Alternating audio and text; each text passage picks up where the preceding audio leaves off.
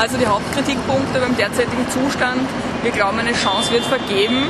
Hier wurde jetzt alles abgerissen. Die Markthalle bleibt bestehen.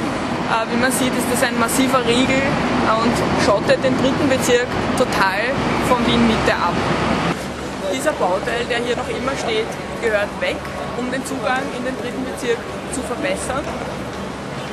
Und zweites großes Thema, Zugangssituation zu der U-Bahn, zu den U-Bahn-Linien, Schnellbahnen gehört deutlich verbessert.